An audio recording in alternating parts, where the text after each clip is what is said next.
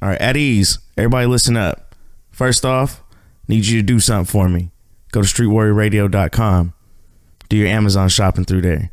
I know you're going to shop on Amazon. I know it. You know how I know it? Because Amazon is worth 1.6 trillion dollars. That's a fake. That's a fake number. That's fake news. But Amazon is worth a lot. You know why they're worth a lot? Because everyone shops on Amazon. You do your Amazon Prime. Your kids got Kindles. You got a Kindle. You get your book there. You get your groceries there. Everybody goes to Amazon Prime. So what I need you to do is tighten up. Go to streetwarriorradio.com. Click the Amazon click through. Do your shopping. Nothing else. Put your info in. Check out.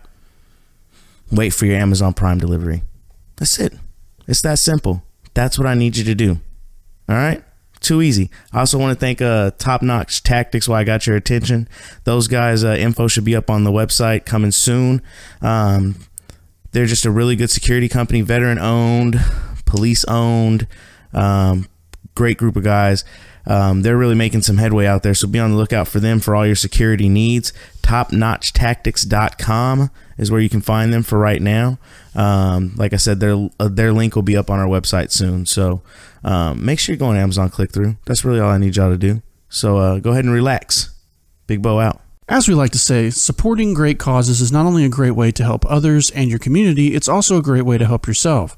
Now, he, we here at the Street Warrior Radio podcast encourage people to seek out great organizations that donate the majority of their profits or proceeds to the causes that they're actually trying to help. With that, I want you to take a look at a couple organizations. Humanizing the Badge. Now, Humanizing the Badge is a nonprofit organization on a mission to help forge stronger relationships between law enforcement officers and the communities that they serve.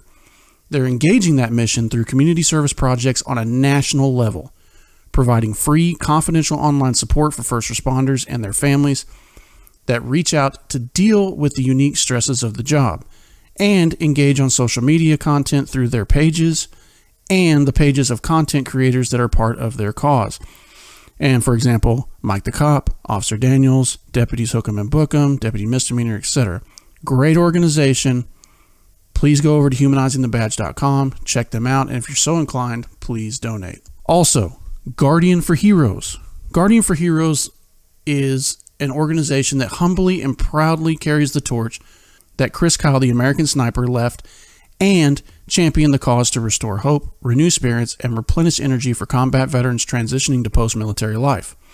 At no cost to the beneficiaries of the organization, Guardian for Heroes provides health club memberships, individualized programs, personal training, in home fitness equipment, and life coaching to in need veterans with disabilities, Gold Star families, and those suffering from post traumatic stress from combat deployment.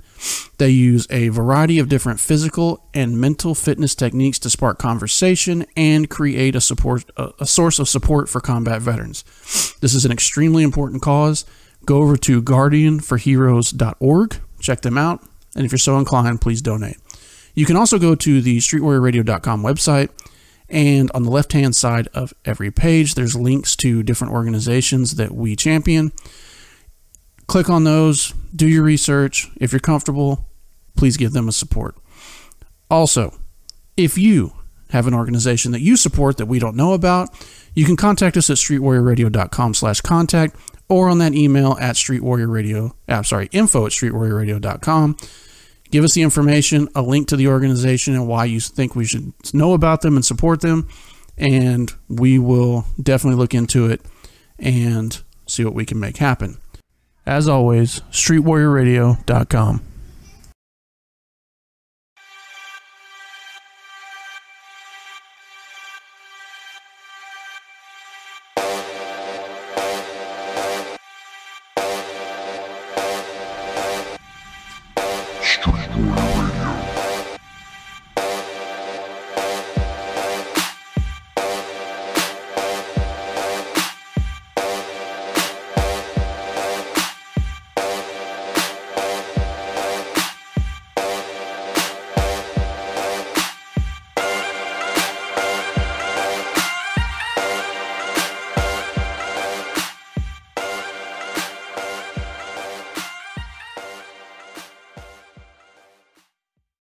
Is Street Warrior Radio episode 014 with your hosts Big Bo and me, JC. On this episode, we welcome Mike the Cop. Mike is a social media juggernaut and podcaster whose always viral videos help show people a different side of law enforcement and through that, hopefully erase some of the stereotypes and falsehoods that are out there. Mike is a dedicated public servant and one of the primary factors behind Humanizing the Badge, a nonprofit organization aiming to help law enforcement and citizens come together. They also come to the aid of first responders and their families who are in need. You can learn more about them at humanizingthebadge.com. Mike, of course, can be found on Facebook, Instagram, Twitter, and YouTube under the name Mike the Cop, as well as on iTunes and SoundCloud with his Off the Cuff podcast. Now, because Mike is a comedian in many respects, we wrestled with where to go with this episode, and we ultimately decided to show a different side of Mike that maybe most aren't familiar with. A look behind the persona you see online. We had a great interview and covered a variety of topics such as Mike's upbringing, law enforcement career, social media persona, and many other things. So sit back and prepare to go inside the mind of Mike the Cop on the Street Warrior Radio podcast. Mike, welcome to the podcast. What's up? How are you doing today? Awesome as always. Sweet. Hey, we really appreciate you coming on the podcast. We know you're a super busy guy. Thank you very much, sir. We do appreciate the time you've given us. And if you're ready, we'll just jump right into it. Hey, let's do it. Deep end, right into the deep end. Right into Right the into deep the Let's talk Deep about my. Uh, let's talk about my mommy and daddy issues. Let's get to it. Yes, Wow, that's okay. actually my first question. Okay. Mommy and daddy issues. Tell me about them. I didn't know you had any. Um, so for those of you, for the you know, there's like probably like four or five people out in the world that don't know who you are. Um, At least. at least, at least. But for those four or five people that that haven't figured it out yet, can you tell them where you come from and what it was kind of like growing up for you? Uh, well, I was all over the place. I was born in Missouri, uh, which I do not remember, uh, but I am fond of, of females nonetheless. And I w- was in Texas for a brief period of time till I What was part? like, uh, Wichita Falls. Oh, okay. Oh, All right. I I'm know where that's sorry. at. Yeah, I, I guess me too. I don't know. I don't remember any of that. And then uh, Yeah. Illinois for most of the early years beyond like six months until I was about five, and then we moved back to Metro Detroit, uh, downriver Detroit, where uh, my dad grew up. We moved back here, and I've been here since I was like six years old again. So, yeah. Cool. Awesome. That's pretty sweet. Um, what was your uh, what was your family dynamic like? Brothers, sisters? One brother. Well, I know about your brother. Yeah. Yeah, one uh, real, real simple actually. Just mom, dad, and me and my brother, and that was it. I, I mean, I come from a bigger family. My dad had uh, five siblings, so there was tons of cousins and, and everything. That was just on my on my dad's side. Then we had my mom's side. So uh, overall, a big extended family. That's nice. So, I, did y'all like get together for holidays and have big?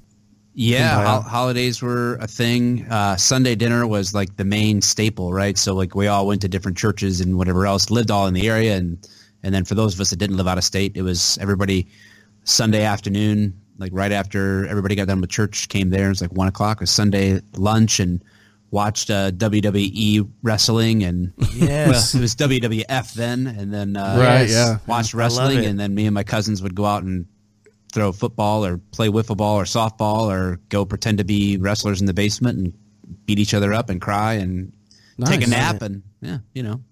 So, uh, why did you guys move around so much? You said you moved for, from state to state. What was that about? Uh, mostly with my with my dad's work at the time. Eventually, he would do sort of like dual duty with different things. But he was uh, a pastor of a church and did like youth work. And Okay. so, Oh, wow. you know, when we were born in Missouri, then he got a he got a gig in Texas, and he didn't like it there. So then his next job was in Illinois, and that's where they just decided from there that uh, he was going to come back home and, and do that here where he grew up. Okay. So when y'all when y'all were moving around, did you did you, uh, did you go to public schools or did you do like a homeschool thing or co-ops or? Well, like I, I, I was, I got here when I was six. I, I mean, I literally started kindergarten here, so it's Oh, okay, okay. So yeah. for for me, I, I remember living in Illinois, and we, my parents had some yeah. close friends there, so we went back there a lot in the summertime for va- family vacations uh, to visit Right. them. And I actually, one of the guys that like stood up in my wedding, you know, was a kid that I just like hung out with every summer when we would go on vacation and they would come here and that kind of a thing. So, I mean, we still had people we knew and connected to, you know, back, uh, back in Illinois, probably, I'm probably still Facebook friends with some of them or something, you know, I don't know, but, uh, Right, cool. but yeah. So pretty much my whole life has been pretty much here in Metro Detroit. So what what kind of what kind of student were you? Uh, I don't. I think I was good. Yeah. I probably. T- yeah, I, I did. I did decent. Like I think I graduated like a three seven or something like that. Oh That's- wow, that's- that's, that's- really good, More than decent for most people. right? were you were you were you uh were you had you kind of developed the uh the the the goofy persona like in school? Were you ever like class clown or anything, or was it No, man. more I, uh, introverted? I, I grew up uh, in. I, I did sometimes private school, uh, sometimes public, but you know, I, I went from a private a private uh, Christian school in junior high uh, of a total student body of maybe like you know 200 into uh, a school of you know 1200 in a public school Wow. environment and it was like shell shock you know when i was like in high school so Oh, I i was pretty i had a good group of friends you know that we uh that uh, you know i got to know but it was I, I i'm pretty shy until like probably like my junior and senior year of high school but then i, I would think like by that point uh i was i was pretty outgoing i've always been i think goofy i guess but Sure. so uh, what ins- what inspired you to get into law enforcement? Man, I uh, it was one of those things where uh, my my uncle actually was a reserve officer, and I, he had a police police scanner at home, and I remember being a kid listening to that and just being being fascinated by it. Yeah, and uh, and then one of the first jobs that I got, uh, just because you know when you need work, you need work, ended up being in in loss prevention at uh, like a department type store, Yeah. and uh, and then I got exposure to to meeting meeting cops that way, and some of the guys that I was working with to this day, I, I'm I'm friends with them, and they're they're in law enforcement, uh, and we work together all you know at this store, you know, catching shoplifters, and I just remember like tackling shoplifters and fighting and being like, "This is the coolest." Can I swear here? Or no, like, Yes, Oh, yeah, yeah, no, go go ahead. ahead. I was like, man, this is the coolest shit ever. You know, like this is like this is amazing, and that's what I think really sparked it for me. Like outsmarting the bad guy and Yeah. and catching the bad guy, man. Like I, I just kind of fell in love with it there, and obviously I didn't. That was back in like I think late '90s. I got that gig, and then I did that for a few years, and I, don't know family stuff. I was married young and having kids, and there were so many things, you know, kind of happening in the way that going to the police academy and paying my way through or trying to get a job and making that change wasn't wasn't the top priority for a while so it just was something that always stuck with me and finally uh, I kind of looked at my savings account and I was like I have enough right now to put myself to the police academy and live for 6 months so I Oh, might as well do it now That's pretty cool. So what was the police academy like for you? Uh dumb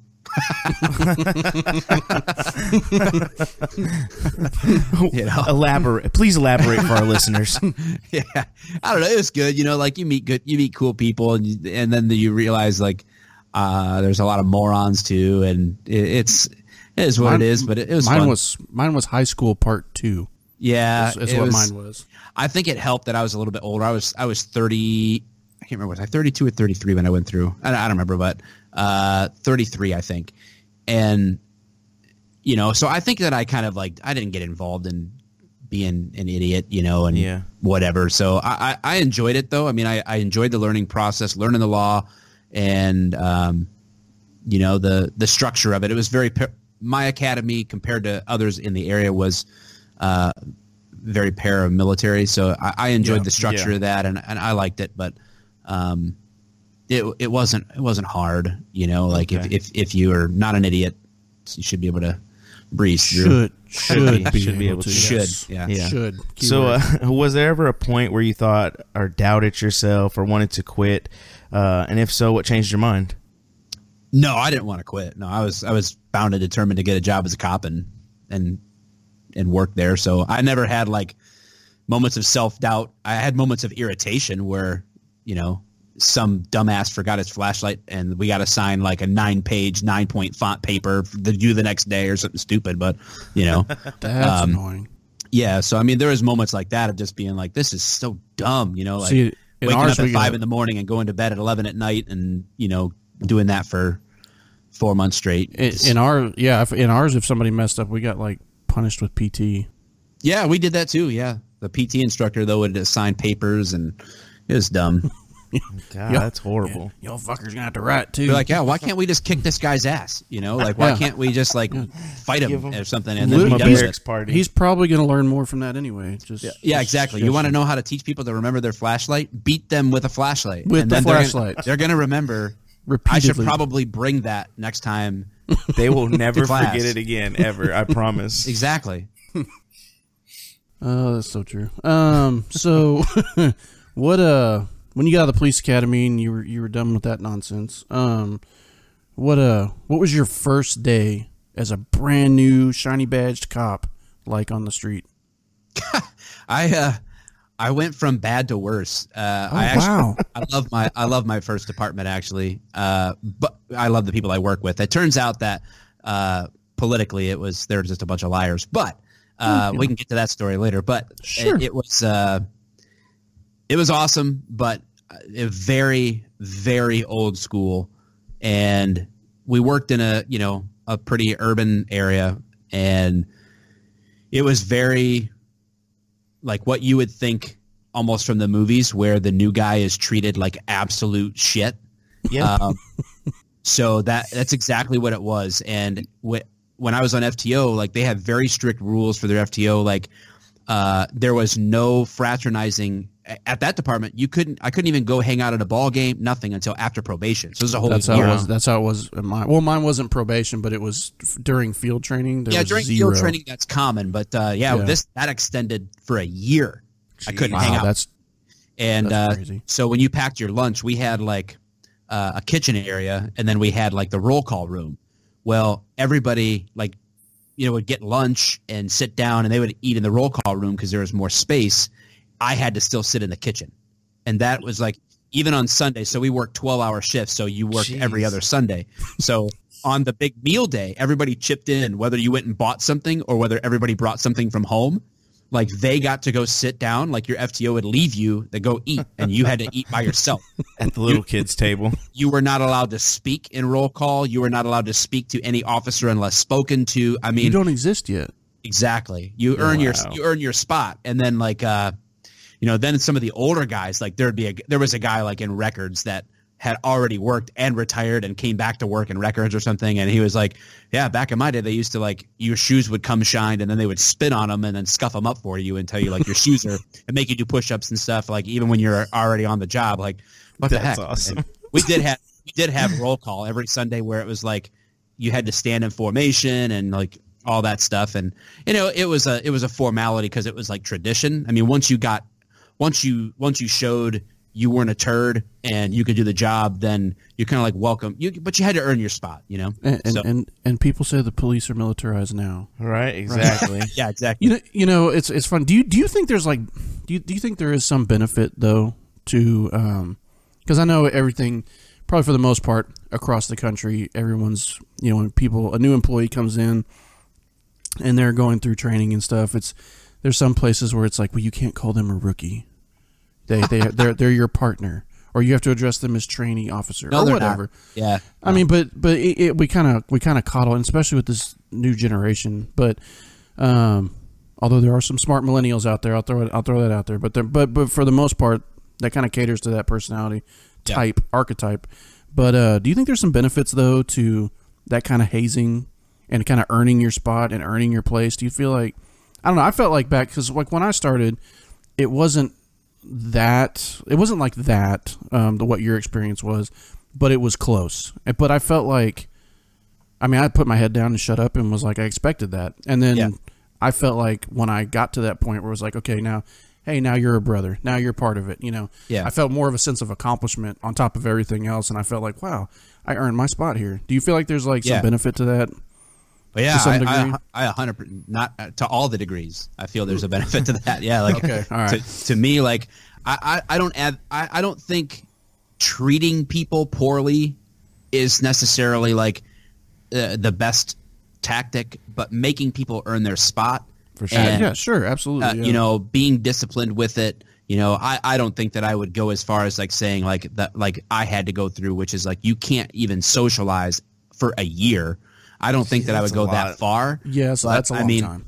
Yeah, so because by the time you go through the academy and get through FTO and do that, I mean, what? I can't socialize with cops for a year and a half after I've been doing this. You know, like right, yeah. that doesn't make it that that part doesn't make much sense. But the part about um, just making people earn their spot, especially after coming out of the academy, when when there's that moment where you think the academy has prepared you, and then you realize all it did was make it to where I don't die like the first day. You know, like uh, Yeah, it's yeah, like important. that's that's it like that's so i think there's a huge value in that and i found like as a training officer once i was in that position like being making giving that idea i i enjoyed having that reputation like oh you have him good luck Right. you know you gotta Yeah. get you gotta get through him if he passes you through phase three or you know whatever if you're getting through shadow with him you know you made it you know like i think Sure. I think if you have a reputation in your training department like that, like, hey, if you can pass the FTO here, man, you're you're gonna make it. Because then Yeah. when they do, that gives them a sense of accomplishment and confidence that yeah, I'm part of this, and and that leads to pride in the department. You know, I agree. Oh yeah, and I totally agree with that. And we, you know, we've we've interviewed some people in the special operations community in the military, and you find that, um, you know, with them, they they those guys go through a brutal hazing ritual, like yeah. their first. I mean, all the way through their first deployment. They're not even considered part of the group really until after their first combat deployment, and. You look at that, and but when they get through with it, and they really like it, really solidifies that that that family feeling and that brotherhood and yeah. the camaraderie. Uh, there's just something about it in that type of structure, and even in law enforcement structure, being quote you know paramilitary or whatever. Um, I, th- I think there's it's, it's great. It's really important. I think yeah, for I for an officer's development. Yeah. Um, so who's been the biggest influence on your life and um, has that person influenced you? man, that's a there's so many, and there and there's so many aspects to my life. Oh, wow.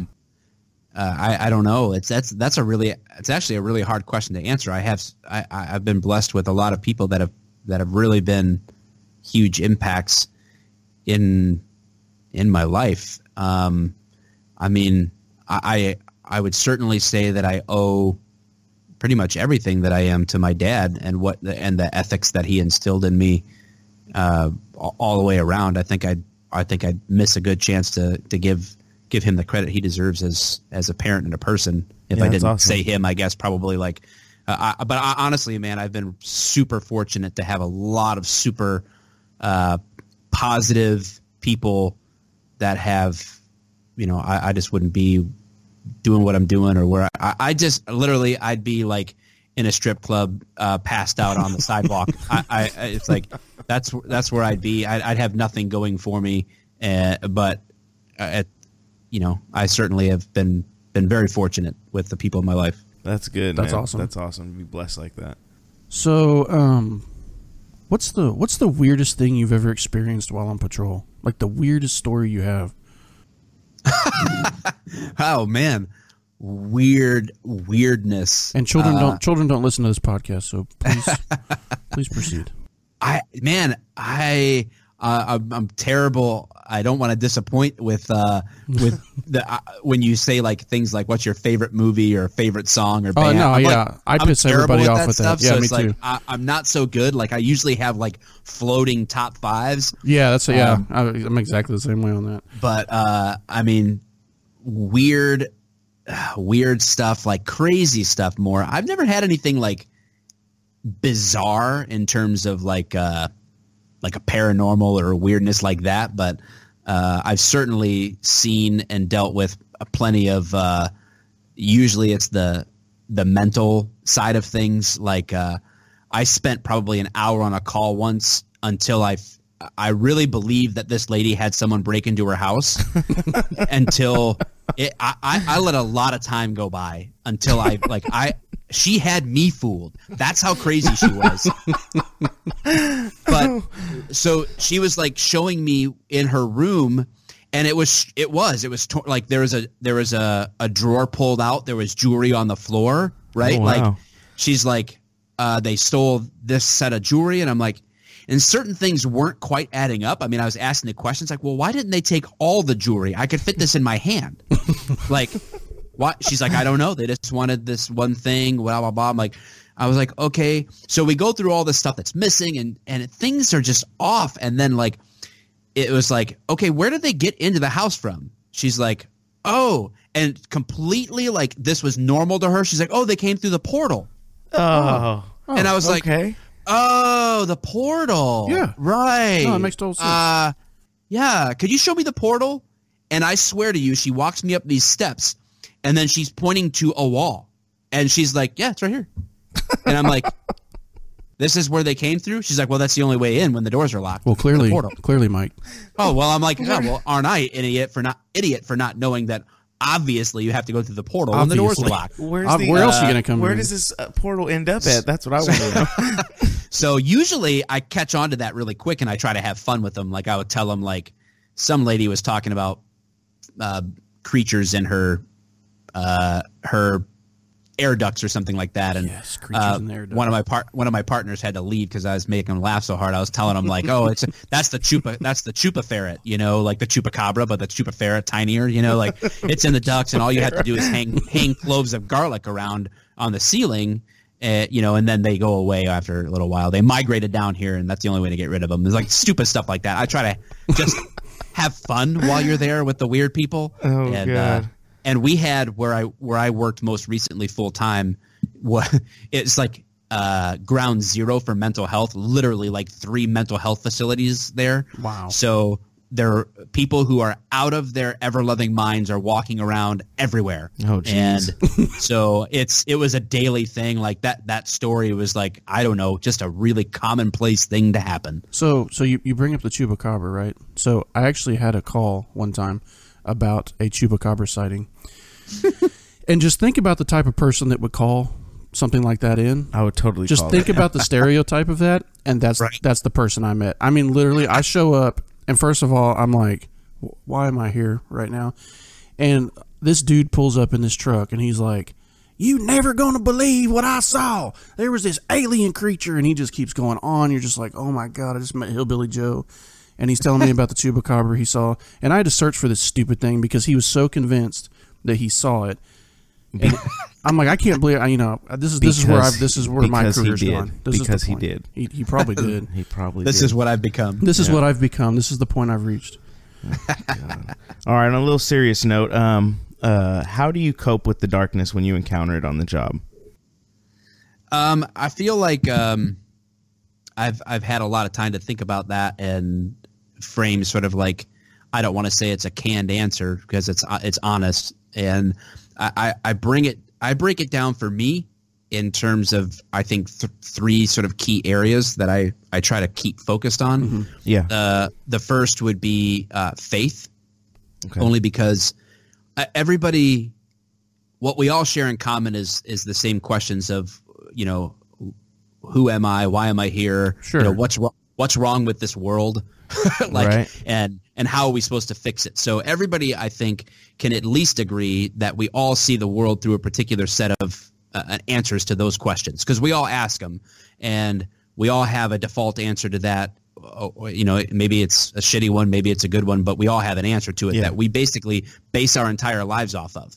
So whether we whether we actually take time to think about it or not, we have like a default switch based on a lot of circumstances in our lives growing up that we see the world a certain way. So for me, I have like this grid of faith, the way that I see the world through, and that is my my primary coping mechanism is seeing the world through that lens Right. and trying to keep everything in perspective that way, understanding tragedy and and all of the the brokenness in humanity. I see it through that particular lens, and that's sort of how I keep grounded with that. And we've uh, with uh, our Humanizing the Badge organization, we've we've seen that uh, in in studies that we've conducted, like uh, surveys and stuff, that it's it's a massive increase in people who feel less impacted by the stress of the job if they're actively participating in some type of faith activity. Sure. And Wow. we don't we don't even break that down by like,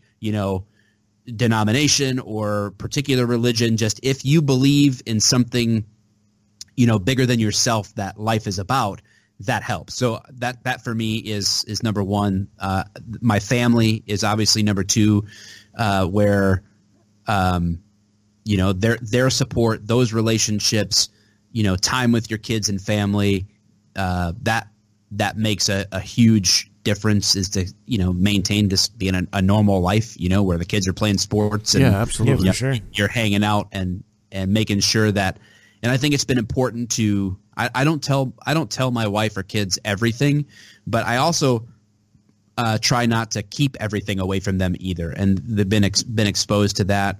Um, they've been exposed to the full law enforcement family experience, and Right. uh, and they, you know, just keeping it open and honest and and support, and it's and it's helped my family life too because I will never leave to go on patrol without even even my oldest kids. Uh, two of which don't even live in the house. But if they were here, my si- most 16 year old kids aren't going to give their dad a hug and a kiss and say, I love you and be safe. Yeah. Right. So like that is something that happens in my family.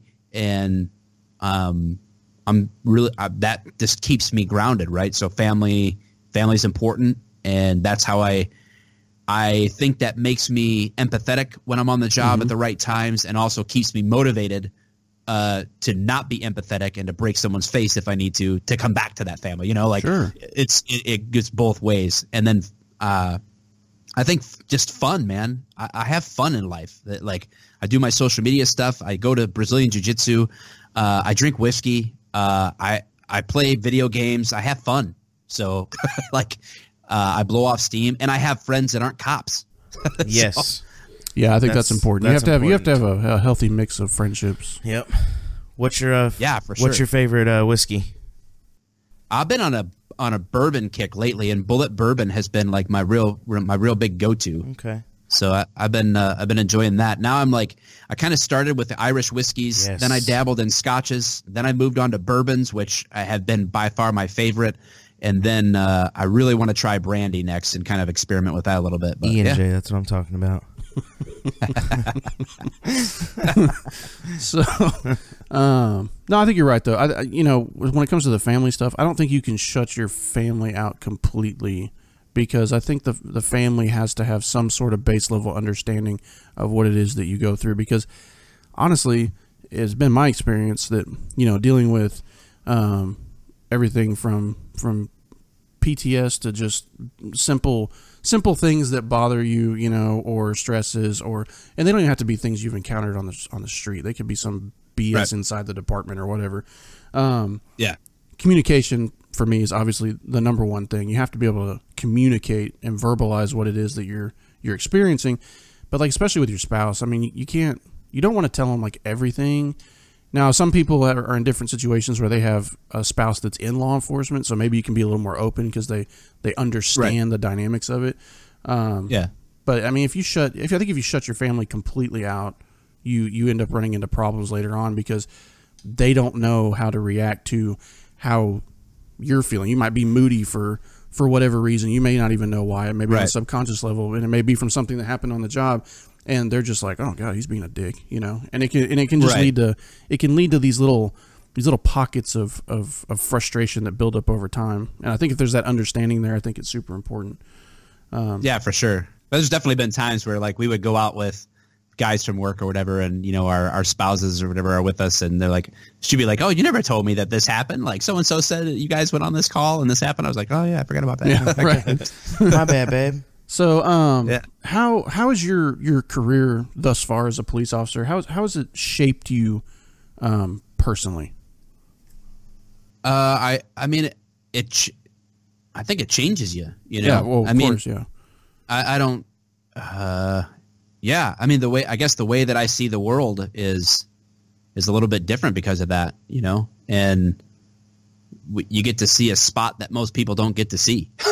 like oh yeah, Uh, for sure.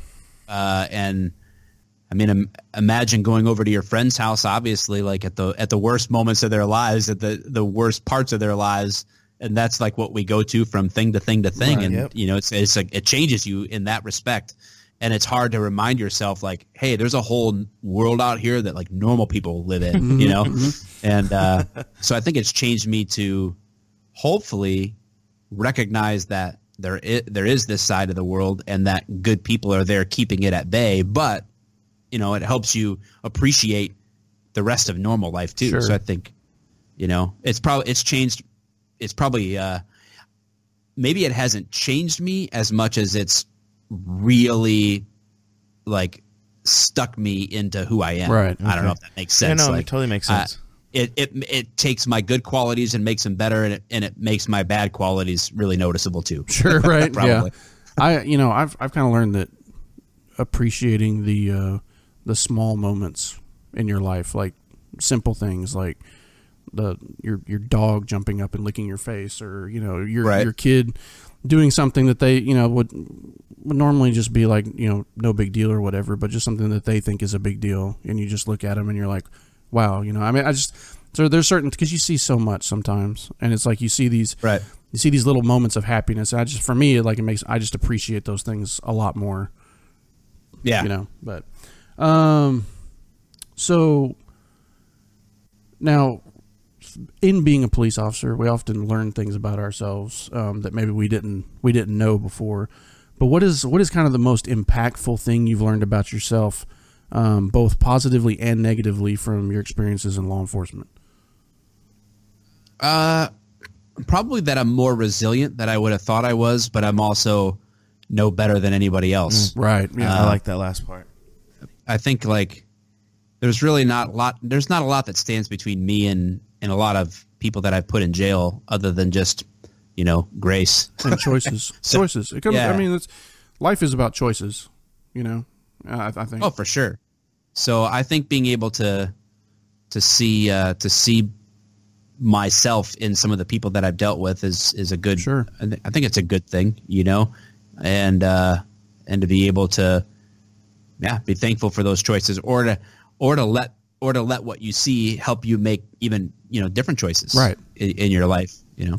So Yeah, I mean, I've I've met people I've taken to jail that by the time we get there, we're like best friends almost because of, at least in that moment because sometimes you learn stuff about people and, and I don't I don't know that the the broad public under, really kind of understands this. Um, you know, we, we you know we don't like just going out and just throwing people in jail. Right? No, for sure. We, actually Right. relate to the. We, you hear these stories and sometimes you're like, that's me.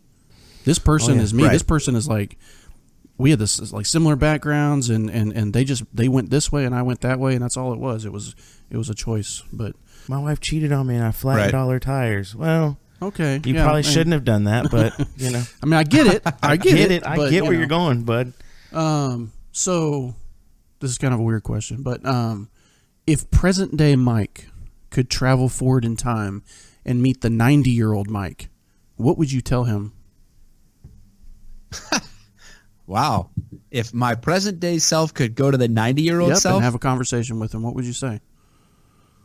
Be like, I'd yell at my 90 year old self for not me not saving more money now. Right? Gosh. Uh, I don't know. I'd, I'd probably just shut my mouth and listen to 90 year old self because he better have a lot more wisdom than me. you would think so, right? Don't drink the E and J. That's what he's gonna say. Yeah. That's pretty cool. All right, so the flip side of that, if you could go back in time and talk to the 20 year old version of yourself, what advice would you give him? Oh man, uh, don't get a credit card. Uh, God, that- isn't the truth? exercise. Uh, I don't know. Like I think, I think um, those would be some of the some of the key things. Like slow down, and uh, I I think thinking about what you really wanted life to be. I'm, I'm a big fan of sort of like coming coming up with what is it that you're looking to accomplish, and then thinking like reverse engineering it and saying uh, what is the next best step then to get to where you want to go? And I, I think like my younger self didn't have a real clear picture of where I I wanted to go. Right. You know, Start with the end I would have just mind. encouraged my younger self, hey, why don't you just take a couple of days and really really think about where you want to be. Like, what is it that you want your life to be about? That way, you know the next best step to take. Best step to take, and uh, and I, I just spent a lot of my time spinning a lot of plates, you know, in my twenties, and which I learned a lot Sure, from, absolutely. obviously. But it, you know, I could have could have been further down the field earlier, you know, with, Yeah, with just yeah. just as much enjoyment in Oh, life. yeah, I for feel the same way. I, yeah, I feel the I think every I think every man goes through that. Like, God, if I'd have just done this different in my twenties, like not Yeah, been eating absolutely. spoonfuls of butter. Um, so, uh, how did the social media persona begin? Tell us how Mike the Cop started. So uh, I started writing. Actually, I, I put a little website and Facebook page together back in like the spring of 2014. So ah, four years ago now. Um, and I called it Cop Life. So I did coplife.net, had a website uh, with a blog on it, put a Facebook page up. That's all I knew. And I was just writing. I wasn't even doing video Sure. at all. Just putting down some of my thoughts and experiences to paper. Uh, that led to, you know, a, a little miniature network of relationships of people who had who had read my stuff, and then um, one such person stood out to me. Uh, her name's Tristy. She goes by Elizabeth uh, on social media, but also her real name, so it's confusing. I think she's got multiple personalities. She's- uh, she's but trolling she wrote she wrote something called Dear Officer, and I saw that. I read it, and I reached out to her and said, "Hey, do you mind if I share this and give you credit on my blog? I don't want it, you know, if you don't want me to, I get it, but I want to I want, want people to see Right. this." So she's like, "Yeah, as long as I could share you, what you wrote about this." I'm like, "Yeah, cool. You know, no problem. You can always share anything you want of mine. I don't care." And uh, that led to a conversation between us, getting to know one another, and she sort of had this idea in her head at the time of starting some type of organization to put uh, the battle for you know the perception of law enforcement and social media you know try to try to fight the good fight there. And that ultimately led to humanizing the badge. And we had no clue what we were doing. We were just like let's just make a facebook page and you know like i don't know like say cool stuff. Right. I don't, I don't know. We- neither one of us really knew Welcome what we were doing. We just knew we wanted to do something. Yeah. and uh, for me, that catalyst was Ferguson because I was like, this the way the the way the media handled that. I was like, man, somebody's got to get in the game and start like fighting back. Um, so we were doing humanizing the badge, and we were uh, like, I don't know, almost a year in, and I had seen this Officer Daniels guy, just like uh, Eric or uh, Deputy Hookem had told you on on his episode with Yeah. you guys, like he saw Officer Daniels on Vine. Right. And so my kids were watching Daniels on Vine, and then the guys at work were starting to see it, and I was like, oh man, this is crazy that a cop is getting this kind of attention. Oh you yeah, know? people love him. So, yeah, our uh, our thought we had this meeting and uh, with me and and Tristy, and we were talking, and I was like, well, video seems to be the thing that's sort of like happening right now, you know. So maybe I could try that as a way to continue to grow humanizing the badge. So I I think I can't remember what the very first video I did was, but I remember the very first one that I did that got any attention it was my son-in-law actually who who would become my son-in-law.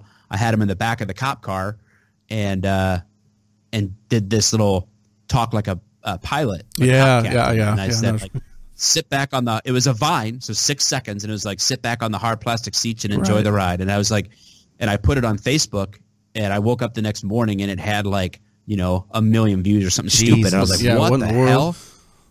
I was like, that's crazy. And from that moment on, I just like, oh, I'll just kind of like roll with the next idea and roll with the next idea. And then all of a sudden, like something took off on Vine. And I was like, huh, I guess I can do this. And it was my way of like humanizing the badge. Sure. Like that was all it was. It was like, I wanted to encourage cops and I wanted to show non-cops that eh, we are just people with a sense of humor, you know, like we can laugh at ourselves and we can laugh at the circumstances we find ourselves in and we can laugh at you. Right, you're of course. Uh, you know, like, uh, so I, I kind of like, and I've never, the difference, one of the differences, obviously, like, I've always just been myself. Mike the cop's not a character. Yeah, it's like, you. Yeah. I'm, I'm just That's me. cool, It's man. like that's it.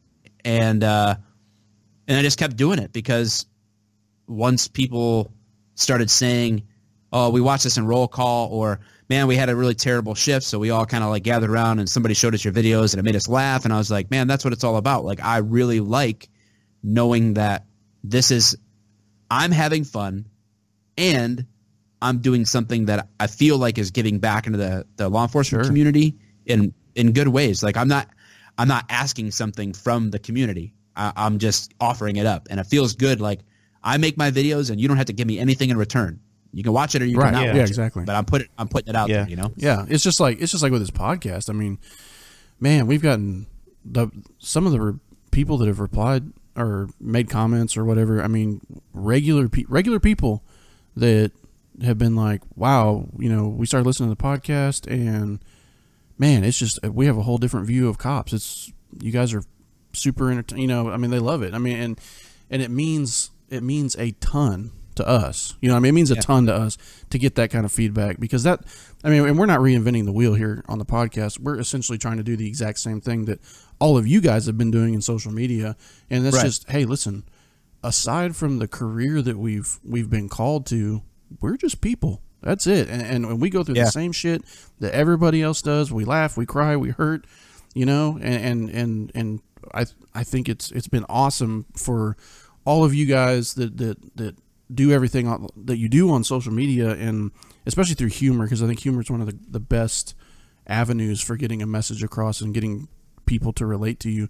Um, our podcast Yeah. is, is a little more serious um, most of the time, but um, it's just an amazing connection and and yeah, I mean it's I think it's so important nowadays. And you mentioned Ferguson, especially since Ferguson, especially since the way the media spun it and handled it, politicians, et cetera, et cetera, et cetera. And there's just been Right. this snowball effect with how cops are viewed, treated, et cetera. And it's important. I think it's super important to have that kind of light in the world Yeah. where you say, "Hey, Yeah. listen, Yeah, we're sure. just we're just here. We're we're part of you guys." And Yep. It's important to show people that. I think that's awesome that y'all been able to accomplish what you have. Yeah, I, I don't know what the ceiling is. I'm just gonna kind of keep keep Yeah. plugging away. The ceiling is the thing. sky. Yeah, absolutely. Yeah. Um, so have you uh did you face any professional backlash for doing your social media? Like what was your response from fellow law enforcement or just, you know, from your department if you can speak on it? Yeah, I can. Uh, the uh, I'll fast forward. I'm gonna I'm gonna Quentin Tarantino Okay. this for you because the department that I the department that I no longer work at, um, where I got my start in social media, they actually just came out with a policy that literally names me by name as Mike the cop and their inability to participate in my videos. You know, Oh, with uh, any form of representation in uniform. at all. Congratulations, man. So- Most Good people job, man. most people get a policy after them, but not too many can get name dropped in a policy. My hats are off I to know. you, sir. I know. That's amazing. uh, when I when I when I heard about it, I was like, "Is my actual name in it?" He's like, "Yes," and it was like, "It's in there." I'm like, "Oh my goodness, this is amazing! It's the greatest day of my life." Um, and and then right after, I went to YouTube and did a video on why police administrations in cities need to get a clue about Right. social media because they're being they're being idiots. They're shooting themselves in the Oh, yeah, proverbial sure. foot by by trying to close off social media because it's so it's so dumb to trust somebody with a, a gun and life or death decisions but not with posting a selfie on facebook it's the most uh, ridiculous Right. thing i've ever heard so uh, and I get the the mentality is yeah, but they could say something that comes back on the department. They could do something on social. Yeah, they could do that in their regular life, just like you've trusted Right. them for decades. You know, like Yeah. yeah. like it's not it's not a fake life, idiots. Like it's we're- real yeah, we're not- So, bar like, and trash. We're not we're not robots that get plugged into the wall at the end Yeah. of the day. You know. Exactly. So I'm a, I'm a big toward toward the very end of my career. Actually, one of the one of the higher ups said, uh, asked me point blank, like if I, if we told you you couldn't do social media anymore, what would you do? I said I'd make a video. I would name I would name you, and I would say that you didn't want me to do social media anymore. He's like, you you would do that. I'm like, I 100 percent know that I would. I guarantee it. And I'd walk Yeah. out the door. It's fine. Like I don't I don't. It, it, it was a good feeling to not be in the position to need that anymore. Um, That must but be nice. um, so yeah, I uh, I was since they already knew about the organization humanizing the badge. I I went in. I, man, I pored over the social media policy uh, time and time again. I looked at that, and then I looked at like secondary employment stuff. I, I covered every angle that I could. And then I sort of put together a pitch in an email and went to the back office and said, listen, I want to do videos. Here's my motivation for doing it. My motivation is to help this organization that I started. It's not, it's a nonprofit. I, I'm not, there's nothing in this for me personally directly as far as like making money. I just want to go and do this and see if it's something that will will be good. And they're like, all right, cool. They gave me sort of like a little bit of slack. Like we know that we know that you do HTB, so we'll see how it goes. And there were there were moments where they're like, oh, we need to like I got in trouble for wearing a kilt outside of a high school and filming, and uh, they I got called on while I was a cop uh, for a, a male in a skirt harassing children. Oh my So- god. uh, so there's, I mean, I pushed the envelope, believe me. Uh, but um, what what the big turning point was is that we don't have we didn't have school resource officers, but I spent every morning that I could on day shift in a school, and I would adopt a school for a semester and go in there and hang out with the kids, and that helped keep me sort of like fresh on social Sure. media, I think, and um, I was walking through the hallway one day at the department, and one of the big bosses was like, "Hey, I saw saw one of your videos," and I'm like, "Oh, here we go." and his kids uh, were laughing in another room, and he went in to see what they were laughing at, and they pointed to this video, and he was like, "Hey, that guy worked for me." like, that's my that's your video, and I, he's like, "So whatever it is that you're doing, keep it up." And I'm like, oh, cool. So then I got a lot more slack in the line. And from that point on, pretty much I never really had any issues. I kind of just eventually I started like just fully just saying whatever the crap I wanted. Like there's only two genders or something. Like I would say like just say it, you know, like and I would mock culture and I would do whatever I wanted. And um, I was never on the clock when I did it. So I, I mean I, I tried to be really careful about how how I did it and to honor honor the uh, the space that they gave me. And it wasn't it wasn't until recently, after I didn't even work there anymore, that a couple of the guys we, there was a new city administrator, and he flipped his lid and he hates me and all this other stuff and blah blah blah. That I, I'm trying to help the guys that are there to not you know not get uh, undue pressure on them. yeah. So So are you are you Yeah. still are you still an active uh, cop at the moment or Yes, Technically? technically. Uh, I I stopped full time work at uh, July last year. I got a part time gig, and I just actually I still have like technically a badge and an ID and a gun right now, but uh, I just resigned yesterday because um, that department has lost a lot of part time people, so they're expecting a lot more hours Mm, gotcha and there is, they're just too many, more than I can give. So I, I don't have a.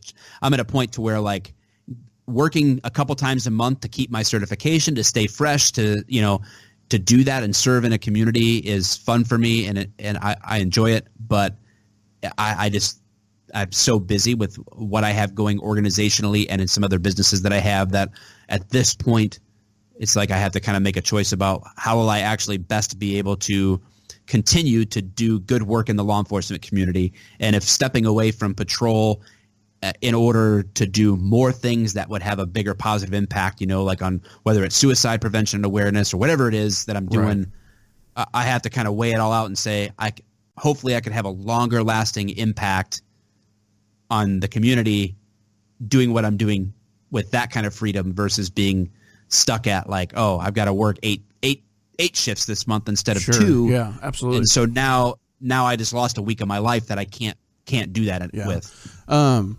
so when when it kind of when when all this kind of blew up, right? When when when everything started to get to the point where it was like, wow, I could really do this full time. Um, was that kind of was it like a change in mission for you, or did you just it just became like, hey, I've got to I've got to step back a little bit from the from working full time in law enforcement to devote my time to this, or was I know because some cops, you know, they reach like I know so many that have reached like that kind of midpoint in their career, and they're just like Mhm. kind of burned out, right? And they're just like Yeah, looking yeah. for guys. There's something else maybe I should be doing. Um, Yeah. Was it kind of like that for you, or was it just kind of like No, for me, the transition, like, I, I don't know what would have happened if I would have just always worked. I, I was in a really kind of crazy spot because we were like 10 guys short at the department and I was working insane amounts of overtime, order, like both voluntary and ordered. Been there and you know, be, between that and all of the social media, and we tra- I was traveling a lot with humanizing the badge for projects and stuff like Right. that, and and then I had my own social media stuff that I was doing as you know Mike the cop and all this, and it, I just came to a point one day where I was like, I don't. I told my wife I was like, I don't remember the last time I had a day off, and she was like, I don't either, Mm. and it was kind of like a moment like, man, I'm like, I can't sustain this. I can't I can't keep it up, you know? And I, and we were barely scratching the surface of the potential, I think, for like humanizing the badge or any of the social media stuff. Whereas my job, I was I was maxed out. And and let me explain because when I first became a cop, I had go I had goals in my career for like detective and different things like that, doing different uh, aspects of the job. Well, I got laid off from the first department that I was describing earlier about FTO. I got laid off uh, three years in, Wow. and there was a whole whole deal where I would have never gone back to work for that department uh, because of the people that in the city, not not the officers, but the the city um, was it was just absolutely uh, full of liars and corrupt politicians, basically. So. Uh, I wasn't going to co- go put myself in that situation again, just to wonder, are they lying again, and am I going to lose my job again? Yeah. You know, so um, I obviously took another job in another department and I already I already missed so many opportunities because at that department, if you wanted a special assignment, whether it was canine or narcotics or anything, you had to have two years on there at that department. So here I am five years in, just now qualifying for anything different. And those positions had already been filled. Mm-hmm. So then I did the FTO thing, which was was Yeah. awesome. And then then uh, I couldn't do because of the social media. Uh, narcotics was out. I got I got turned away by the state police. I didn't apply because I I approached the lieutenant in charge of the task force ahead of time, and I was like, "Here's the deal. Could I even apply?" He's like, "Don't bother. You won't get it. like right. your face your face is out there. Blah blah blah. Not going to happen." And then uh, so I set my eyes on the one other option that we had was uh, DEA, and I just uh, I applied, did the whole thing, didn't get the spot. So I didn't get that, and then I was faced with uh, detective was by seniority at my department. So here I am, eight years on the job, uh, you know, seen it all, done it all, blah blah blah. And I'm kind of like I'm I'm that personality that needs a new challenge every every Yeah, couple yeah, of years, yeah, you I know. that, that. And so I'm like, social media is take th- this whole thing's taking off. Here I am. How how many how many more years am I going to push this scout car? Yeah. You know, am I going to push this car? I'm like, I've done car chases. I've done foot chase. I fought the bad Right. guy. Uh, you know, like how many more dope arrests do I need? How many more guns do I need? Like how how much more do I need to really do in the next five years before I even stand a chance at being somebody that could get into the DB or whatever? And so I was kind of like faced with that decision, like a fork in the road, you know, like, and that's why I was like, you know what, I'm going to go for it. And it, if I fall on my face, I'm still young enough, and and I could still come back to the to the road and get a job and, and be a cop full time. If if everything fails, because uh, I've started some other businesses that are non social media related and things like that. So I'm like, I, I, I'm doing this stuff. If I fail, well then I fail. But at least at least At I least you tried. Yeah, absolutely. And, you know, And yeah, And and, you so learned a valuable like- lesson from it too. Yeah, so I, I that I did the part time thing, hoping that okay, I can keep my cert and you know go through all that stuff, and and obviously we're we're now at this point again where I'm faced with another decision. Like I can't give up more time that I'm already giving to that job, that kind of a thing, because it's definitely not about the money. Because I uh, I pay I pay my gas money to get there and back. That's about it. So um, so you know uh, here I am, and that that's sort of like how that decision was made, and hopefully you know, I, that's all I can hope for. Hopefully, I'm making the right decisions. Maybe I'm not, but I hope I am. I, I think you are. I, th- I, th- For I sure. I think you are. I think if you know, for especially for for men, I think, but anybody in general, but for men for sure, we got to have a mission in life. There's got to be something that we're focused on and feel like we're Yeah, accomplishing. especially the personalities that are in law enforcement and military. There Yeah. has to be that we're we're servants, we're public servants. We want to help, we want to do something, and so you got to feel that at the end of the day. If you're not filling that void, it's gonna your your life feels off a little bit. Yeah, I love how you put that. Men need a mission. Yeah, I I, I really think that's yeah, I, trademark. yeah, I feel, I feel, yeah, I feel, no, I, I, I really believe that. I really, I really believe that you, you know, and you do reach a point, especially in in this job where it's just like, God, I've done that. I've answered that call five thousand times. I've done this. I've done that. You know, and you, you kind of end up in a spinning of wheels situation where you're just like, what's the next move? What's the next direction? And sometimes you have to create those avenues because those opportunities Yeah. aren't going to be there. You talked about it right there with you know not being able to go into narcotics or, or anything like that because you're you were already out there. You know, it's like okay, well that's doors closed. So what do I do with that? I, I think I think you're on the Yeah. right path. I mean, obviously you've you've garnered a lot of success. So I think um, I think for sure it, it shows. yeah. Um, Thank you. so, how um, for tho- for people that don't know about anything about humanize the badge, right? Yeah. Um, and somebody came and said, "What is humanize the badge? What what would you, how would you explain that to them? How you would, or how would you explain the organization to them and what y'all do?" Yeah, I mean it's pretty straightforward. We uh, we kind of like I'm a fan of saying like it's built into the name, Yeah, right? Like sure. we we want to show people that we're people, and uh, our our actual f- formal way of expressing it is that we just want to forge stronger relationships between the law enforcement and the communities they serve. Like that's like we we want to inspire people, uh, departments to come together and have strong strong uh, relationships in their communities as law enforcement because obviously like cops tend to be very reactive Yes. you know because you call us when something happens. We're not the freaking minority report and know when it's going to mm-hmm. happen. So we you know we can we're, we tend to be that way. But when the community's involved they can sort of like br- fill that in. And every everybody's concern should be all of our kids safety and all of our all of our mutual benefit. We want to we want to make that a real strong priority. So for us that i think everybody wants that but to answer how we do it is we do our our project humans which tend to be about every quarter. Our next one is coming up in just a couple of weeks in vegas where uh, we come in and I, I think we'll be spending time in a juvenile detention facility. Oh, nice. uh, talk talking to kids and um, doing that alongside officers and hearing from their experiences and that kind of stuff.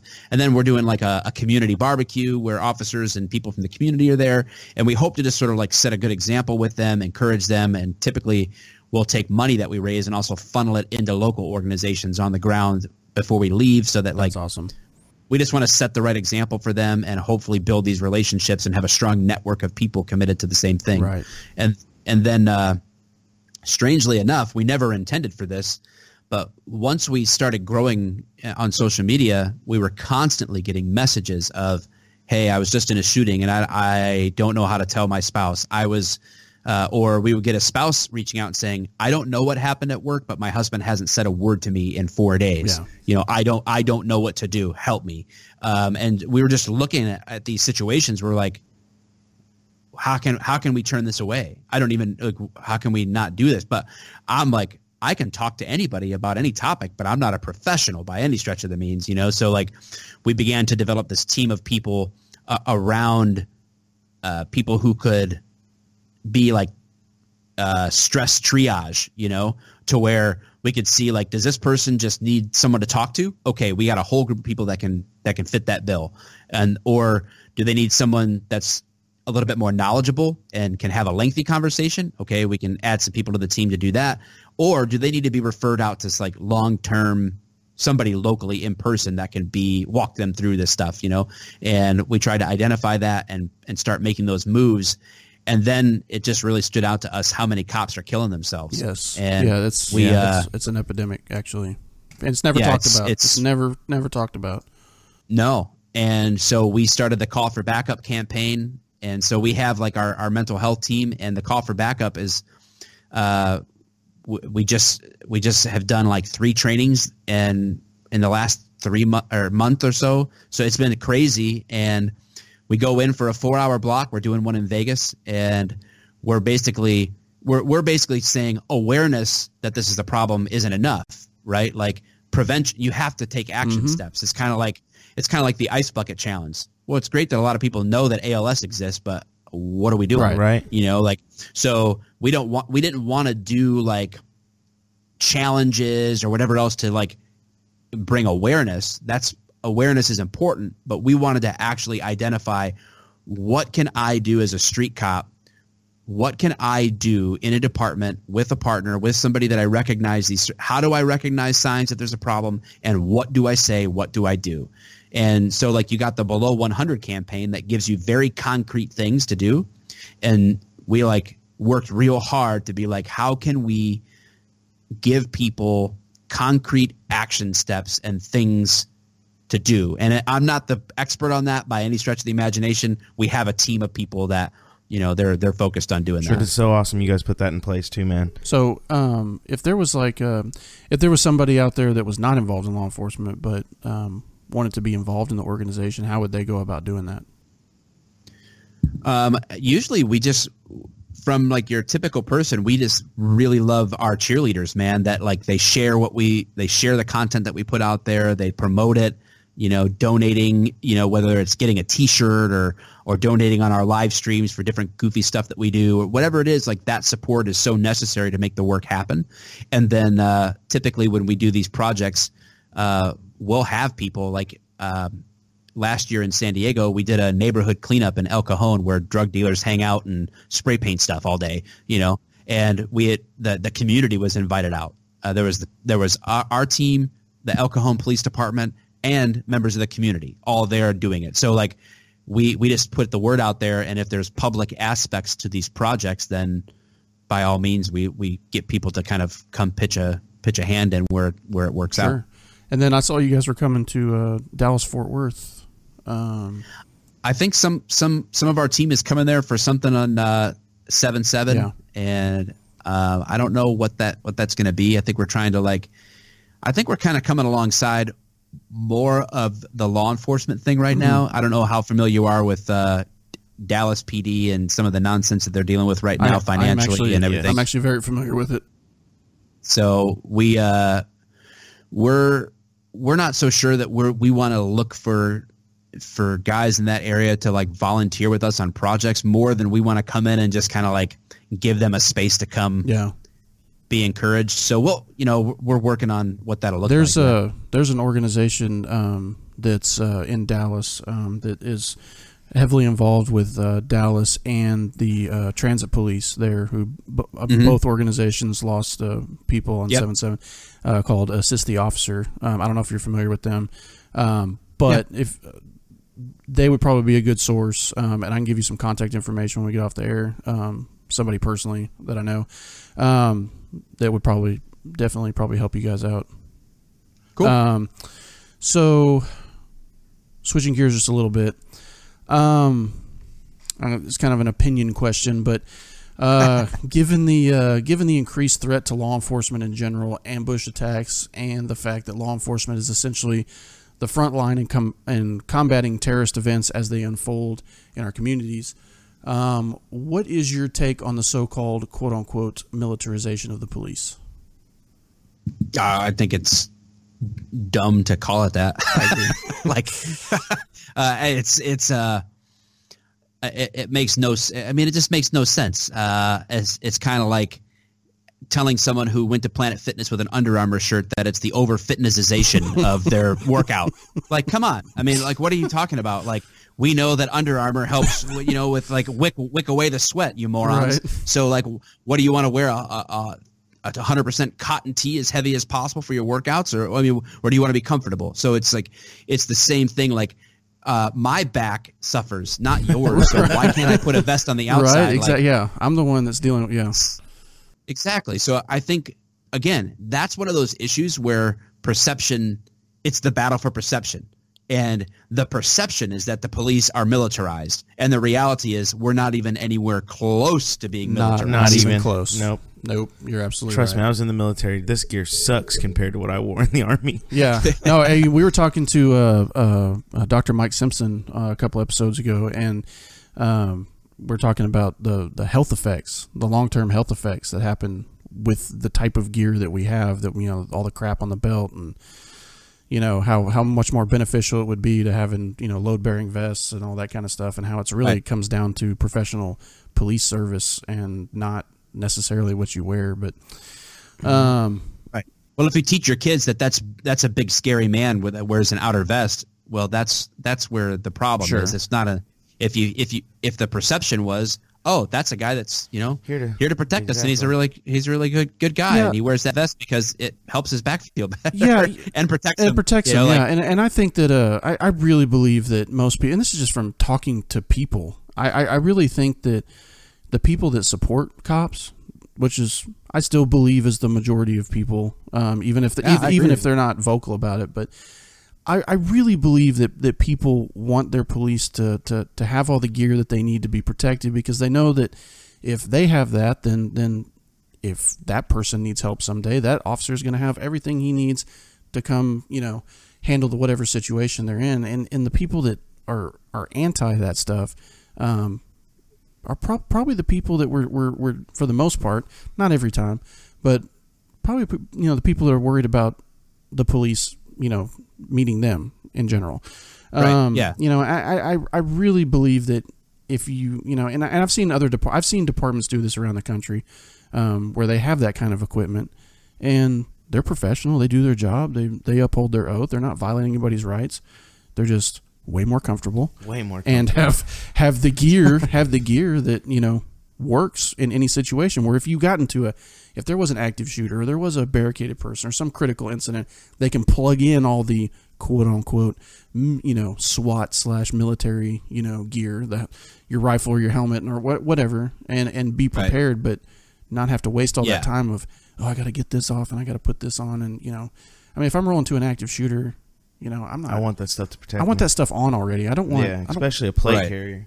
you're just wasting precious moments. But yeah, exactly. caveat to that question: Do you think that law enforcement as a profession, and and this could even is really kind of directed at leadership, but um, is failing police officers when it comes to things like firearms training, critical decision making, combatives? Yes, yes, yes, a hundred percent, thousand percent. I definitely think with combatives. I I mean I've never met a police department that has a combatives program. There's some like I uh, I have the the first department I worked for. Uh, we did uh, Krav Maga, their their law enforcement program, and it was eight hours a year. Wow. wow, And I'll tell you what, if you learn like this Jason Bourne shit, and you're gonna you think you're gonna remember that Yeah. after one eight hour class, It's not and happening. without without practicing it It's- regularly at full intensity, yeah, it ain't happening. Which is that's why I do.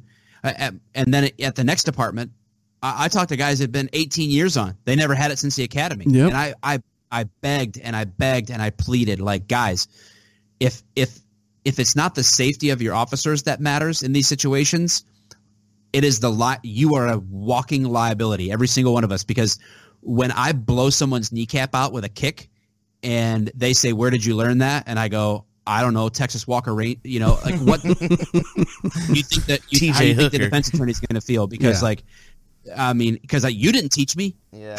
yeah, no, you know. So it, it's it's terrible. But that's I, I'm uh, if if you listen to my stuff, like I definitely like I'm a big Yeah. big proponent of Brazilian Jiu Jitsu, and uh, we we just talked about it today on our, on our show too. Man, it's like it's it's the only thing that I have ever encountered where I can practice 100 percent against a resisting person, Sure. and no one no one needs to get injured. Exactly. Well, and I think it's the same thing with firearms training, and and, and even you know reality based training, critical decision making. i- i- Those are perishable skills, and if you don't if you don't Totally. maintain them, if you don't practice them, um, you lose them. You lose them. They Oh, yeah. deteriorate with like with everything sure. else. But Yeah, I saw you had Tim Kennedy on. Uh, he's that guy's a certified badass in just about everything. Straight up. Jesus, Yeah. I would if he ran for president, I might just write him in on the next election. That dude loves. I was talking America, to uh. Dakota Meyer, and he he trains with him regularly, Yeah. and he's just like that guy is like when he's when he's grappling with you, man. It's like it's you're you're definitely gonna lose. oh yeah, if, well yeah, I I you know I I've listened to uh, Jocko Willink's podcast, uh, Jocko podcast, and he's you know Yeah. a huge proponent of, of jujitsu. Jujitsu's life for him, you know, and it's just these guys are incredible. I mean, but they they're right. I mean, they you know they talk about how if you're just if you're a if you're a white belt in jujitsu, right? Um, you know about a year in, uh, pretty much most people you encounter that aren't going to have training, you're going to subdue them. You're going to be able to win that Absolutely. fight. Oh yeah. It's it's Yep. an incredible thing, and I I I really wish that departments would would partner up with you know gym, jujitsu gyms, and, and MMA gyms, and and there's so many people like in Metro Detroit. Like there's so many academies that I know that have offered straight up free training, and and cops just don't do it. And it's it's their a lot of it is a obviously they have to take their own time, right? Sure. So if it was built into built into something Well, into yeah, your day, yeah, and that- that'd be fine. Like I know uh, U- University of Michigan Police Department actually builds in an hour of fitness time into their shift, um, and you you get to go exercise. So you could you could build in dropping the gear and and exercise, shower up, and go back on patrol. Yeah. Like that could happen. But a lot of guys, especially with grappling. I I found it's an ego issue because if they do go to the gym regularly and they're really good at bicep curls, and then you know some 15 year old girl puts them in a triangle and taps them out, and they they wake up later and they're like, "Uh, I can't come back here. I'm a cop. Yeah. I can't be. I can't let these guys tap me out. You know. And, oh, and, and, and Big Bo and I have seen it. And cops are so funny. Like you would think if you offered a cop something free, he'd be all over it, right? But as soon as it's involves their off time, oh yeah. it's like nope. I don't think I'll be able to do it. Yeah, But no. they'll go to off duty. yeah they'll go work an off duty job. Yep. You know. Um, so we're gonna have a serious question. You can answer this question, man. If not, uh, I totally get it. Um, if not, we'll just edit this out. Um, so there is that is that cool with you? Yeah. Okay, cool. He's like, I All don't right. even know what it is, but okay. there are people out there that may not know this about you, but uh, you have a brother that was killed in the line of duty. Um, so Yeah. often something this tragic occurs, people tend to tunnel in on the way someone died, but forget about how they lived. Um, would you do us the honor of telling our listeners about him and what he was like and what he meant to you? Uh, yeah, I mean, obviously, he meant like a crazy amount to me. As like, it was, like I said, when we were growing up, it was just me and him. Yeah. So I mean, like, everything we did was together, and something. Uh, my mom, my my brother, and I were in a, a car accident when I was six. Uh, shortly after we moved here, uh, back to Michigan, a drunk driver swerved into our lane, and my mom had to swerve to avoid it. So, so we had a rollover accident, and it left my left my mom paralyzed. Oh, and wow. so Jesus, I'm sorry. we uh we grew up with that like basically we we grew up fast right? We my, my dad was working two jobs and you know we helped take care of my mom and all this stuff. So like we were very very close in, in other words. So like as far as what he meant to me it was like you know brother best friend you know all, all that stuff that you, i guess you would expect. Um, and then he became a cop before I did, uh, and we both had worked actually in at the same store uh, doing security. Oh, cool. And but he d- he ended up doing like uh, grocery stocking, not not the security part, like because he made more money. He made more money than me, Yeah. like doing assist, assistant manager or whatever. So, uh, so that that happened. But you know, he went through the Detroit Police Academy, and uh, you know, I kind of like watched him go through that whole process and uh, saw how much our personalities were very very similar, and I saw how much he enjoyed the job, and getting to know other cops through him and uh, and all that. He was very much my my sort of like inspiration to to pull the proverbial trigger and actually finally do what it took to you know get myself to the academy and get a job. So Cool. I mean, certainly like a huge motivation. He he had he had won Officer of the Year through POAM and you know had you know life saving and all all the other stuff you know that would go along with someone that you would think did the job to like the max ability that they had and so he he definitely lived that out and was super well respected you know in the department and in the community and so i mean i, I have nothing but i mean good things to say Awesome. obviously Yeah. i mean he could be an asshole just like me so Um, what are some of the things or processes you do in order to make improvements in your life? Uh, I'm learning that um, I'm learning to identify the places where I lie to myself. Uh, Let me allow me to explain. Okay, So, like, explain that. we, uh, a lot of people want a lot of things in life. I guess we might say, let's say, I want, uh, I want to be in better shape. Yeah. That's that's a, a general one. But I also really want this whole pizza, right? so like, and the Struggle is real. so this it is, and it, and that's just like a really basic example of what I'm seeing in my life about like, okay, I want a better marriage, I want a better this, like, so I want to. You have these different categories or whatever it is, and you're. I, I've realized that I might really want, I might really want to be in better shape, and I'm not lying about it, but when I step back and pause for a second, it's really like third on the list. It's not it's not high enough to actually take action. okay. And so I'm learning to just try to pause and then decide what's that what's the one next step that I can take to get where I want to go. Yeah. And that that's what I'm learning uh, most in these days is it's okay to pause long enough to be honest with yourself about where you're sort of like deceiving yourself Yeah. like uh, and and to stop wanting so many things and doing a lot more. I think it's a lot more important to do more things effectively than it is to want a million things. Yeah. So uh, learning to say no to certain things in life too. That like I would I love to do a lot of different things, but I'm I, I'd rather at this point in my life get really really good at just a handful. Okay, cool. Um, are there any books or movies that have had an impact on your life for the better? Oh man. all, all kinds of all kinds of things. Oh, awesome. Uh, Let's hear them. Jeez. Uh, the books.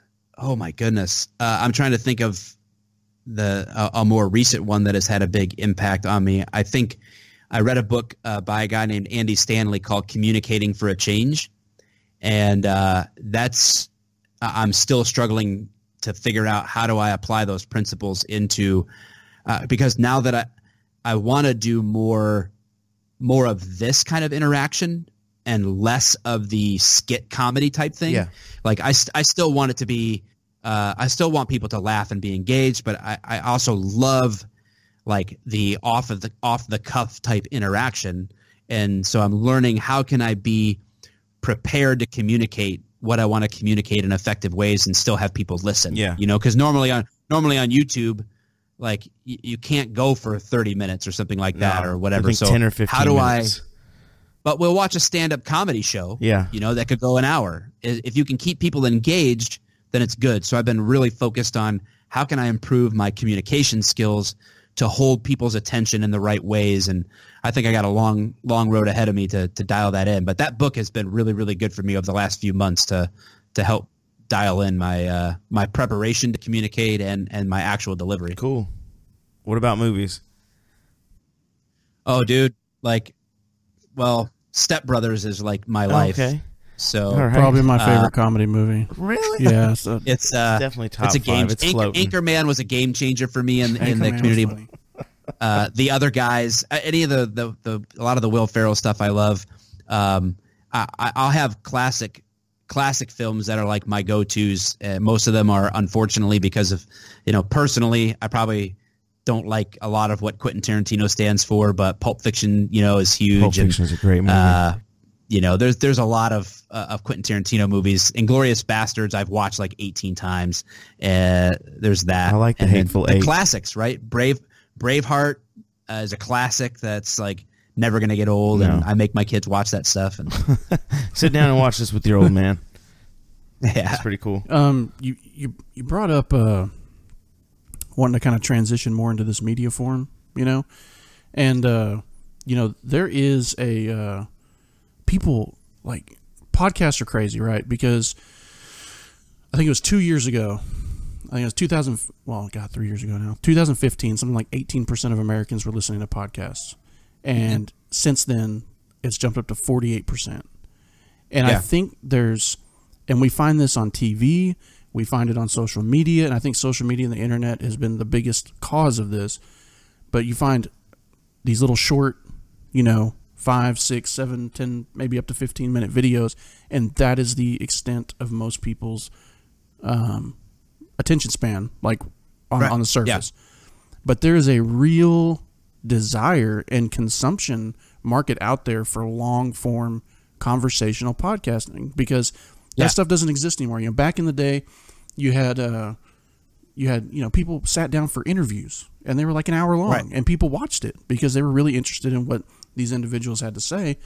Um, and we don't we don't really do that anymore. And I think that's there's there's something missing, and that's why I think podcasts are so uh, so important. That's why we jumped into podcasting instead of doing like a YouTube thing or, or whatever. Was because we felt like Yeah.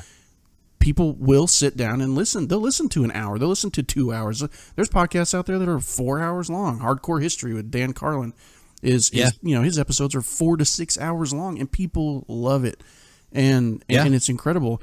And I I, I f- I find it encouraging actually that um you know like you're you're you're kind of moving more more into that because I, I really do think that uh, beyond and I'm, I'm I'm not just throwing you compliments here, but I, I really I really do think that, that beyond the the comedy, I really I you know when I listen or watch your videos where you're actually talking about um, a, a, a, a real topic, or an, an important Yeah. topic, I really do feel like you have a lot to contribute to that, and I, I really do think that people would would consume that from you for sure, and I, I definitely I would definitely enjoy um, Yeah, seeing more of that, that. from And you it- for sure. I, I think uh, I think culturally, like I feel like I'm I'm I'm regretting not getting into the podcast game a little bit earlier. Right. Um, but at, at the same time, you know, now now is as good a time as any, and the we see this with Netflix, right? I want to watch the content I want. I don't want a commercial.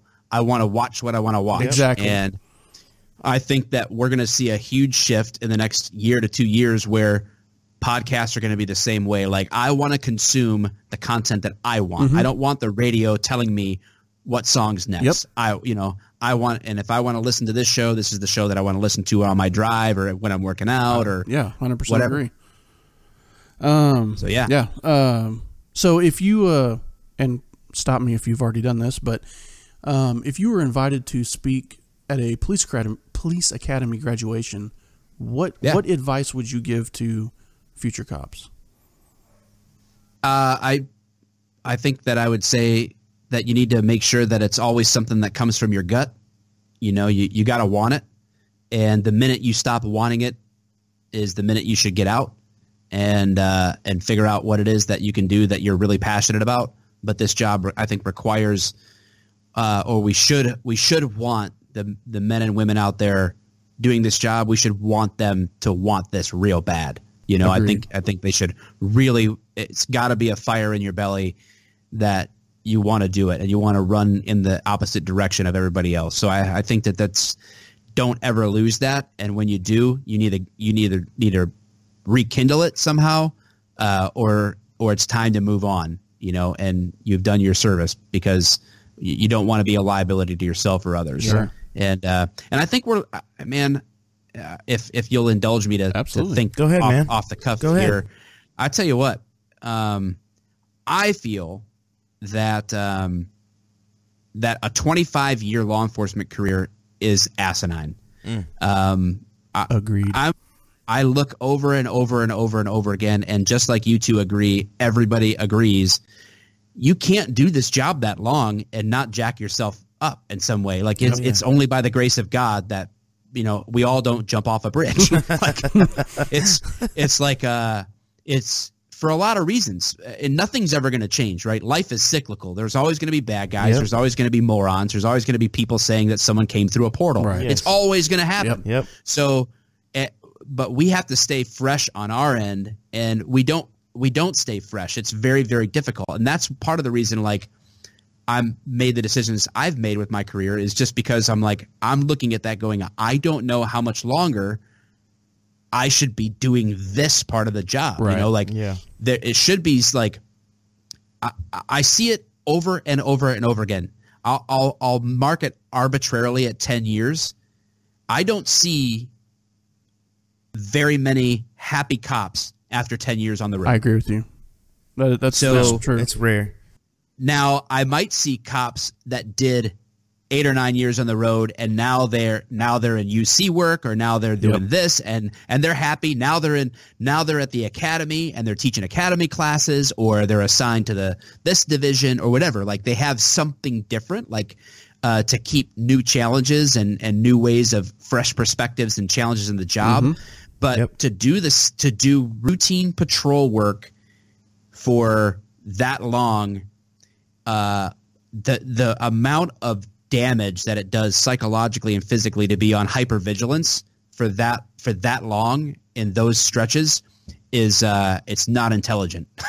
No, I, I agree with you. I and I have probably met literally I could count them on one hand cops that have worked the road for 20 years and like they're like, yeah, I, w- I can't imagine doing anything else, right? Yeah, Right, those yeah. those But- cops yeah. are rare. But most people, and you find this, I mean, I found this in, in, in smaller departments where they don't have special units and they don't, man, people just get tired of it. They just get tired of going to the same call over and over again, dealing with the same Yeah. people over and over again, doing the same routine over and over again.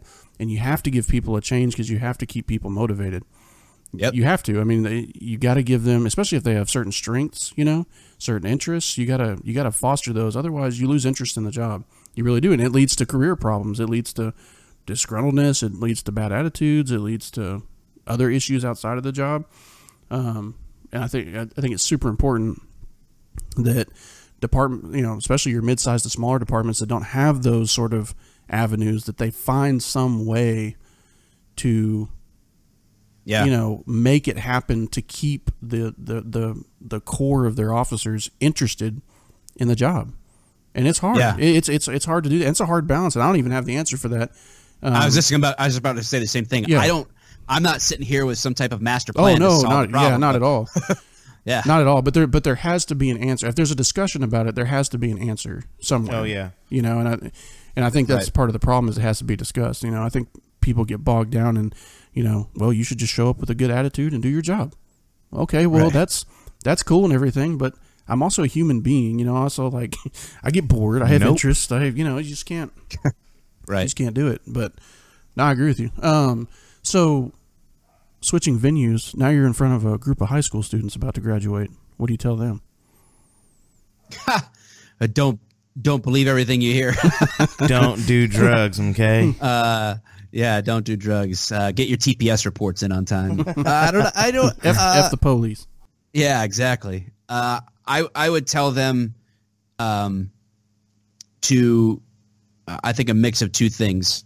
Um, always to always believe in themselves and to and to never ever give up on the goals that they have for their life, but in the process to never ever think that you're bigger than you are.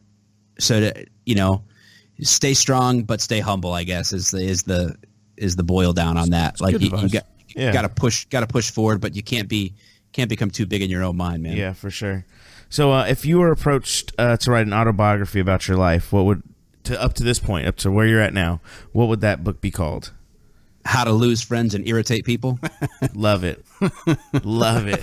a simple man's guide Simple man's guide. A simple man's guide. Yeah. Yeah. I mean, I, I should I should write that parody book from the classic. Uh, who wrote that? Uh, How to Win Friends and Influ- Dale Carnegie. yes Uh, yeah, like the just kind of parody parody exactly how he does Exactly, it in the book. like, chapter by chapter too. You should just troll the shit out of him the whole book. I'm a, I'm gonna do it. I gotta get started. I'm working on the second volume of "You Can't Make This Stuff Up," like ridiculous cop Yeah. stories. Like I'm working on the second volume of that right now. I'm working so on a flat Earth book. Oh god There you go. The sun rises somewhere. Yeah. maybe not in the east. Exactly, or does it set it all?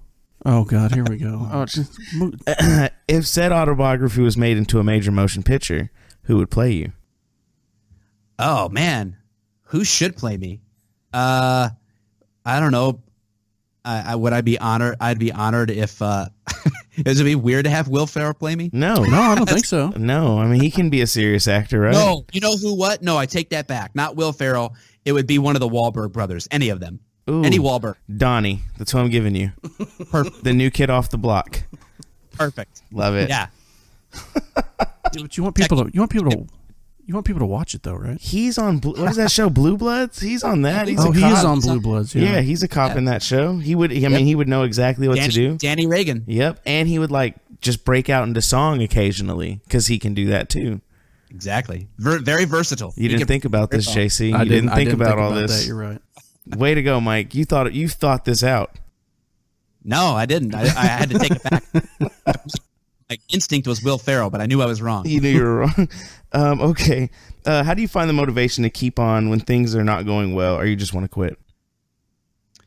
Uh, I, I think I just default back to kind of like what we were talking about Yeah. earlier. Like I, I have to find something, and Yeah. I, I've been there. Like I, you kind of I think you have to have like a circle of things that motivate you, um, and I think when things that we're passionate about, we're we're weird creatures in that we can forget about what matters pretty easily, Yeah. and so just having having that time to just pause and think. Uh, I don't call it meditation, but I try to like have like these moments where I think what what's important, you know, like uh, what matters to me, Yeah. and Just stop and and that think. Gotta gotta find something to motivate you. Like I don't know if someone doesn't have anything that motivates them, I don't even know how to help them. Like I got I, I that's what you got to try to help them find is what do you care about? Right. Like why Yeah. why do you wake up? You know. True. Um. Okay. Last last few questions. All right. I've got a couple more for you. Um. Have you ever faced any sort of social adversity in your life? And if so, how did you deal with it? And social adversity could be a variety of things, like a bully growing up, or um, people trolling you on social, Social media, media, or, for sure. or professionally, or Or that. I mean, I know. Uh, I, obviously, you, you. I'm sure you you get your amazing comments on social media, but um, but like just you know any anything that that that kind of wasn't a, a private struggle, but like a public struggle that you had.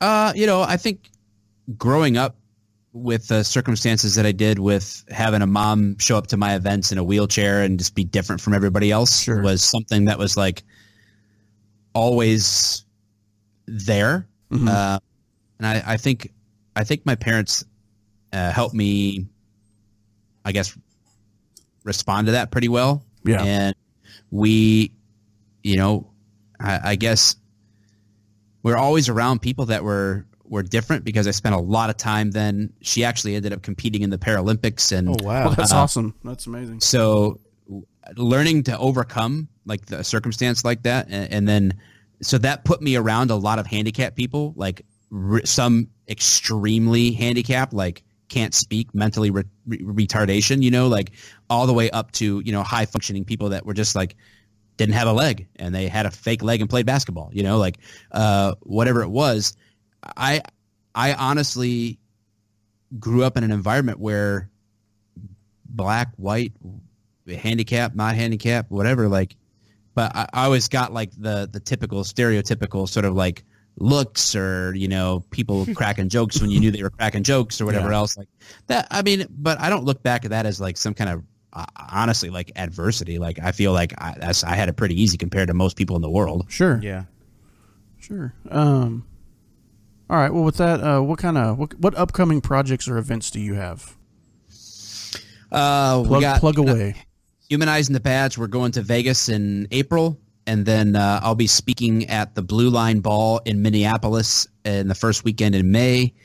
And then I'm going out to another law enforcement appreciation type event out in New Mexico toward the end of May.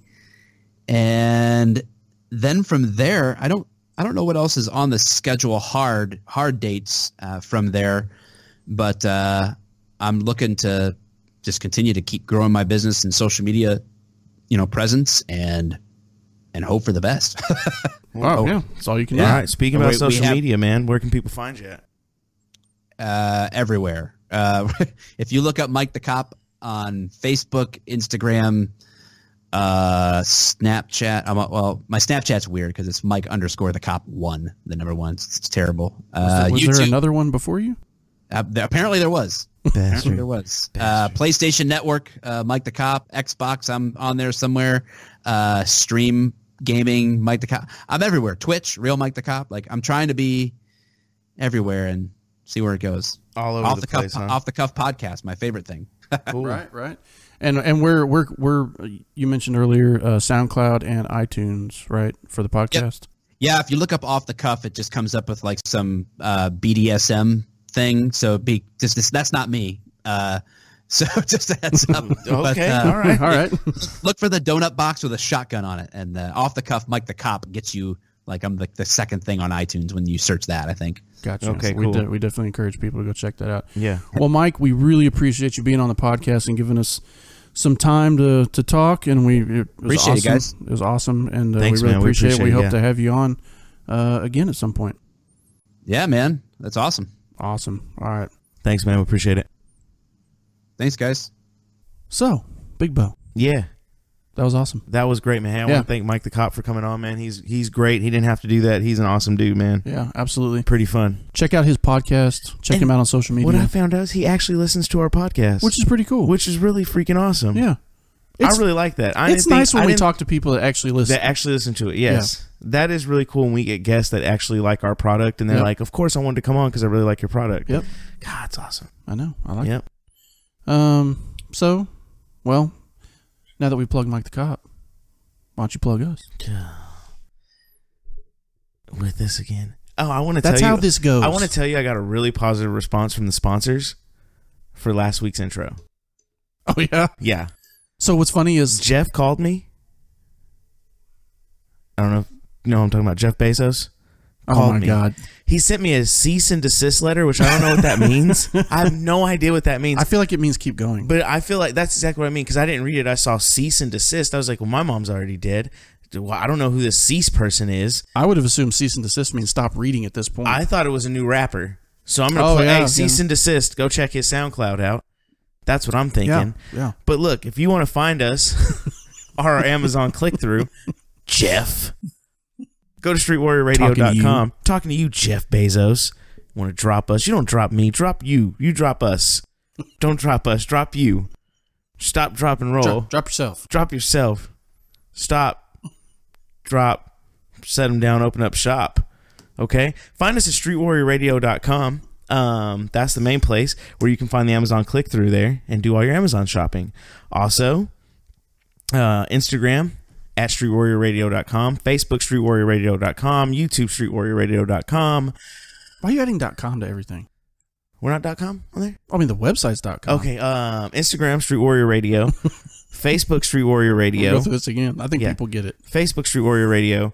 Um, Twitter is at. STRT, the word warrior, RDIO. I'm gonna remember this one week. I really You're will. never gonna remember that. I'm gonna totally remember We're that.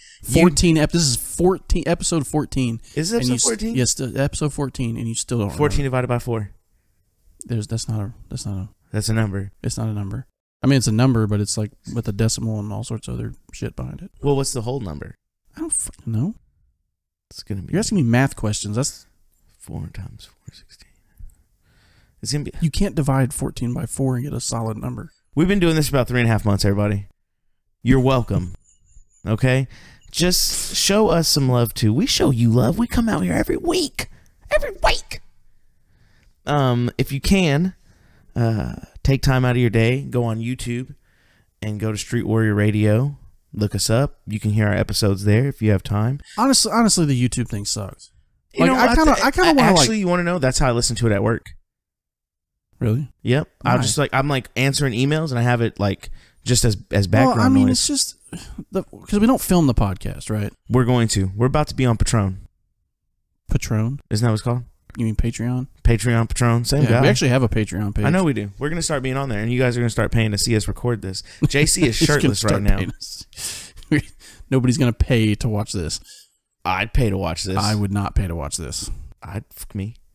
I know. I'd fuck me good. I've, That's a movie reference. Bleep this out. Edit that part. I'm not editing this part out. Why don't you edit anything out? Because the- why would if I- the people who have the sh- Because the, the, guests can if we're editing this because out, if the guests can have you always tell the guests this is his spill before we get someone on we have like a, a five minute powwow with them before and he's always like you have complete creative control over this whole thing if anything because they're want. a guest. well i'm uh, the the uh, partial owner of this podcast don't i should be able to edit out whatever the fuck i want to edit out Nope. I'm the one that does the editing. you edit out the part where i was talking about your nasty ass feet on the last episode did I? yep I don't think I did. pretty sure you did I know because I haven't even finished that episode yet. oh i was listening to the tim I- kennedy episode Yeah. No. No episode. I was going to leave that in. I was actually going to leave it in you because it's better funny. leave that in It's It is- funny. it's great Which, by the way, I did cut my toenails. i see that yeah. You shamed me into. They weren't even that long, but you shamed me into They it. were horribly long. I felt like really self conscious, you should feel self conscious. and I got caught on a sock, and it was just a mess. See, and you yeah. were like, God damn you, Big Bo. yeah, it was. Anywho, um, he's gonna edit that part out. I'm not. Um, so if you have a chance, um, if you're on YouTube and you're listening to the Street Warrior podcast, um, go and look up Dick Gregory. He is great as Oh well. Oh my god. He is great. And then look up um, Eric Dubay's 200 Proofs. Okay? Do that for me, everybody. And then get back to me. Uh, you can get back to me at info at streetwarriorradio.com. Big Bo at streetwarriorradio.com. That's B I G B O at streetwarriorradio.com. All spelled out. No spaces. Don't And don't look those people up. look them up. Dick Gregory. We're gonna we're gonna do lose. Dick Gregory Crystal Skulls. We're no God, First of all, please don't. Dick Gregory has three of them. Okay. No, he does not. Yes, he. Well, he's dead, so his his estate has them now. Has he ever shown them? He didn't have to show. oh, he them. just just tells you about him. He was. Let me tell you. You want to, you want to hear the story? Oh God. So Do I have a choice. Dick Gregory was like, I spent some time with the Indians. and, and there's thir- hold on, don't laugh. And there's 13 crystal skulls in the world. I got three of them. Given to me, Just given to him. and I lost them. He lost. them. And then I called. I called this lady. I said, "Hey, uh, I ain't got mine no more." And she said, "Don't worry about it. They'll find you." They'll find you. Went to a hotel. Bam! It was right there on the bed. Oh my God. And I believe Dick Gregory because Dick Gregory wouldn't lie to me. And then look up Eric Dubay's don't look up. Don't look up. 200 proofs that the world is flat. Don't look these people up. YouTube search them. And then welcome down my rabbit. I didn't dig the rabbit hole. I was thrown into it, my brother. Okay, you know what? If you want a view into the mind of Big Bo and what I have to put up with on a daily basis, sure, go ahead and look them up. I send. But I please send don't JC, hold the podcast accountable for I his send- ridiculousness. I send JC like Dick Gregory videos when I know he's just gotten off shift and he's asleep, so he has to wake up and look at this. He's just like, "What are you doing with your life?" There's a lot of cussing. I love Dick Gregory. Anywho, hey, Big Bo is out. Salute. We appreciate y'all listening and thank Mike the cop. One. So this is the part of the podcast where I close, and then he makes fun of me for how I close the podcast.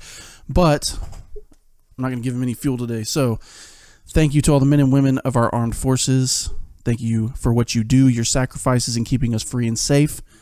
Thank you to our first responders, our police, fire, paramedics, and all those people that keep us safe at home and help us when we're in need. Please remember your oath and do the right thing. To the families of our military and first responders, thank you so much for your sacrifices and everything that you do. It is noted. We do appreciate it. And for all those other people out there, our supporters, our listeners, our subscribers, our followers, thank you. We love you. We appreciate it. And to all those people out there that make the world go round, thank you so much for what you do. You make the world worth fighting for. And with that, Street Warrior Radio is out of service.